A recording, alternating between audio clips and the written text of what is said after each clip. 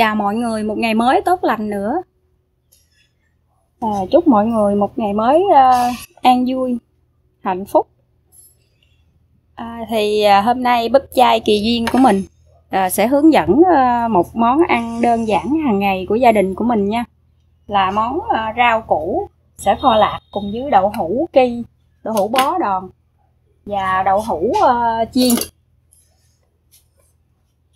à, đây là đậu hũ bó đòn.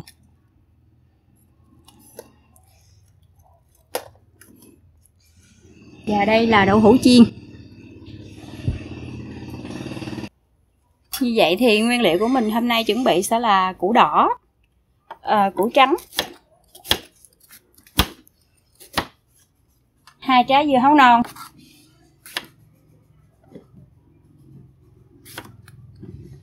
Đây là dưa hấu non rất là ngon. À, và một ít đậu đũa. Ba trái cà chua. Rồi đây là khâu chuẩn bị kho lạc của mình nha. À, đây là món kho thập cẩm. Mình gồm có tỏi ớt và hành lá. Rồi mình sẽ sơ chế.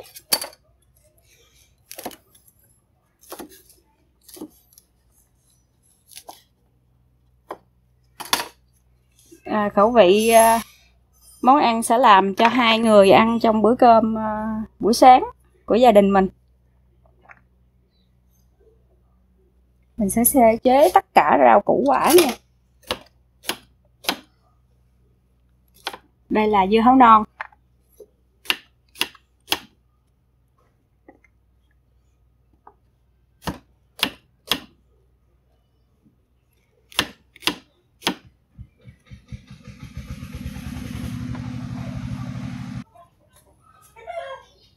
Rồi như vậy là cái khâu ờ, rau củ và đậu hũ đậu hũ bó đòn và đậu hũ chiên. Cà chua tất cả nguyên liệu mình đã chuẩn bị sẵn. À, rồi đây là hành và tỏi. Mình sẽ chuẩn bị một cái chảo.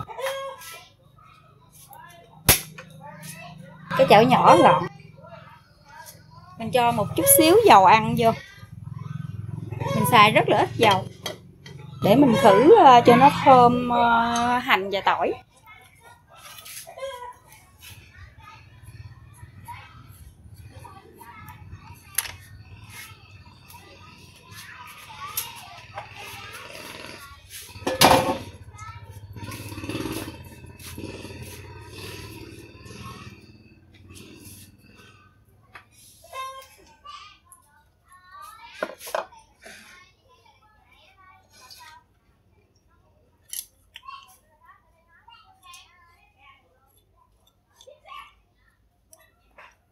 Mình sẽ khử tất cả ờ, hành, tỏi, ớt. Mình sẽ khử cho nó thơm lên nha.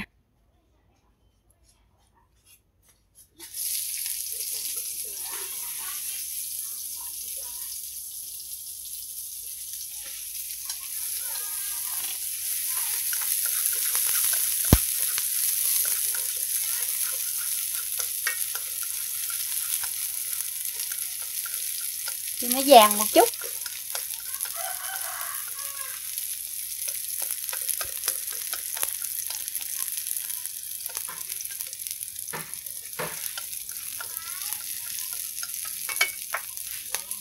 Giờ đây mình sẽ làm một chén nước uh, sốt trộn để mình kho. À, trong đây là gồm có uh, một chút bột cà ri, uh, một chút ngũ vị hương. Mình nêm nếm. Rất là vừa ăn.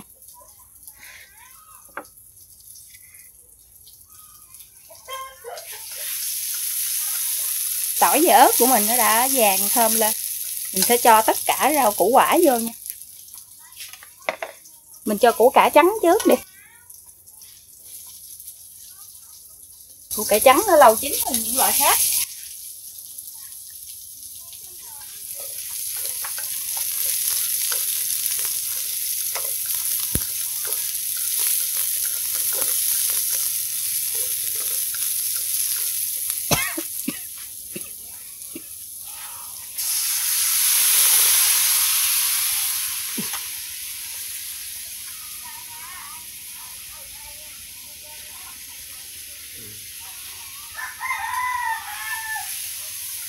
Cho cái nước ờ, sốt của mình vào.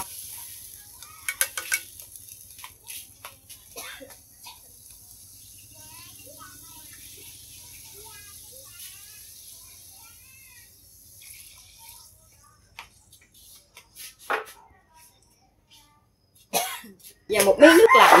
Rồi, sau đó mình sẽ cho tất cả rau củ quả vô.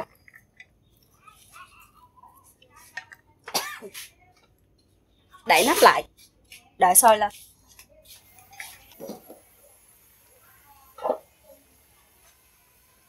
Rồi khi rau củ quả mình nó vừa chín được một phần thì chúng ta sẽ cho đậu bắp vào. Cái này cái món đậu bắp này là mình nhúng kho lạc nha. Nó cũng rất là đặc biệt. À, mình sẽ để lên trên mặt như thế này nè để cho cái cái hơi nóng với lại à, nó không quá chín. Rồi mình chỉ trụng thôi rồi mình đậy nắp lại khoảng chừng à, sau vài phút nữa mình hãy lấy ra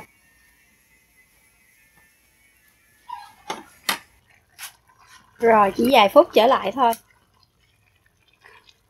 Cho rau ờ, củ quả của mình nó chín thêm một chút nữa. Và đậu bắp thì chỉ vừa chín tới thôi. Khi đậu bắp nó vừa chín tới thì nó có cái độ giòn. Nó sẽ rất là ngon. Cái này mình gọi là đậu bắp ờ, nhúng với kho lạc.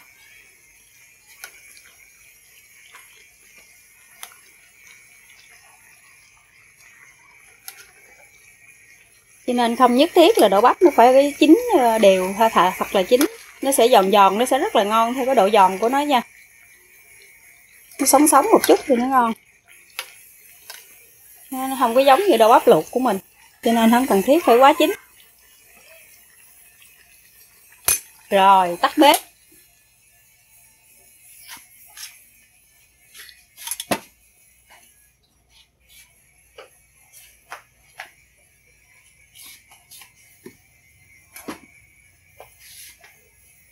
Như vậy là cái món kho lạc của mình nó đã hoàn thành.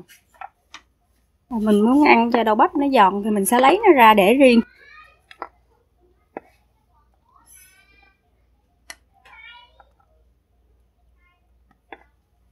Mình sẽ để riêng đậu bắp như thế này. Để cái độ giòn của đậu bắp nó còn giòn. À, khi nó là kho lạc á thì mình chỉ nêm nếm cho nó vừa thật là vừa ăn nó lạc thôi nó đừng có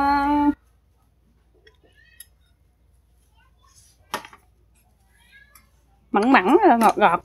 Như vậy thì nó sẽ dễ ăn hơn. Rồi. Vậy là món kho lạc đã hoàn thành. Nhìn rất là hấp dẫn đúng không mọi người? À, đây cũng là một món à, ăn chay à, đơn giản và cũng rất là đầy đủ dinh dưỡng cho gia đình mình nha.